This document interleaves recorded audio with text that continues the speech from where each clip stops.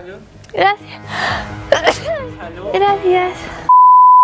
Pequeños kiwis, como ya sabéis teníamos que probar otra vez inventos para fruta. Probamos el de la piña en el anterior vídeo, os lo dejaré como siempre en la descripción. Y no me funcionó, no sé, fue pésimo, horrible, no me funcionó para nada. Solamente hice zumo de piña y picado de piña importante que eso no era funcionar ni era nada. Me dijisteis que sí que os funcionaba, que yo lo hacía al revés. Yo creía que la piña estaba madura, otra piña nueva. Va a funcionar, o espero que funcione. Pero además os traigo una sandía rica rica porque vamos a probar otro invento también para sandía. Vamos a ello. Lo primero que vamos a probar un cortador de sandía, pero no un cortador de sandía así grandote como el que probamos la otra vez. En este caso necesitamos la sandía partida por la mitad y lo único que nos va a sacar va a ser la parte que se come. La piel va a dejarla en teoría así como limpita o lo va a intentar. Voy a enseñaros primero este invento. Lo sacamos de la caja. Nuevo, nuevo, pero nuevo. Como veis son una especie de pinzas que aún no está en el plástico que vamos a sacar fuera.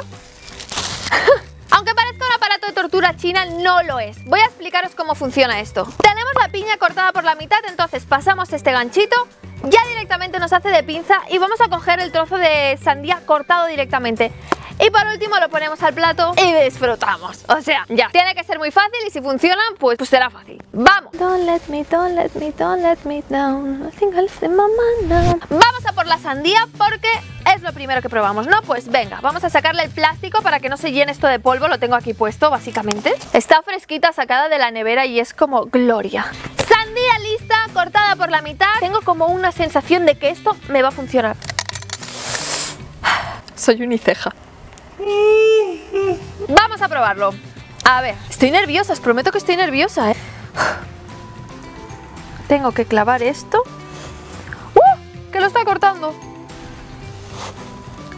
Que lo corta!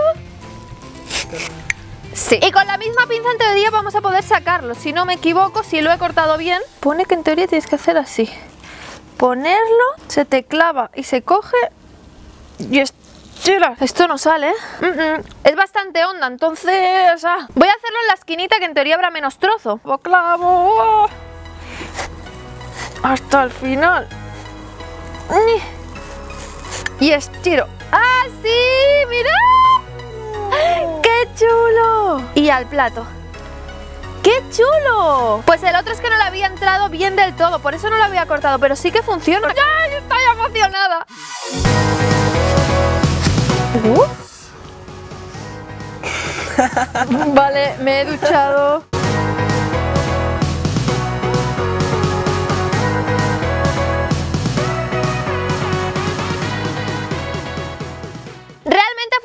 Funciona, el problema es si es un poquito honda la sandía no os va a llegar hasta abajo porque esto es un poco blandito Tengo unas ganas increíbles de probar la piña más que nada porque...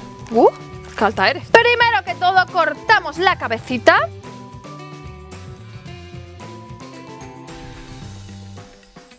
Esta piña parece que está más dura, entonces muy probablemente nos vaya a funcionar. Eso espero, no se deshace.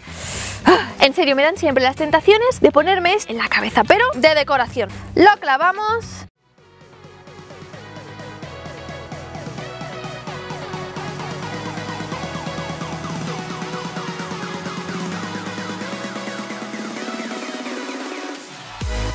Ya estoy empezando a hacer zumo.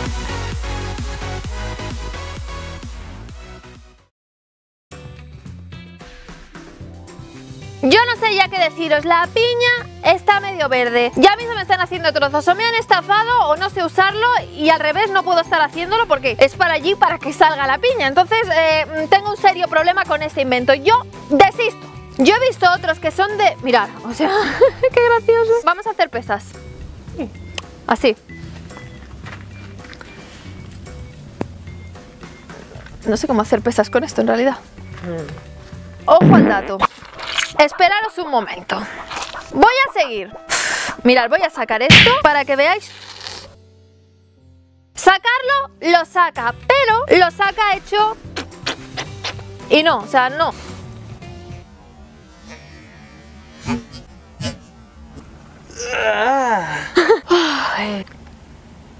Porque hay 5 céntimos ahí.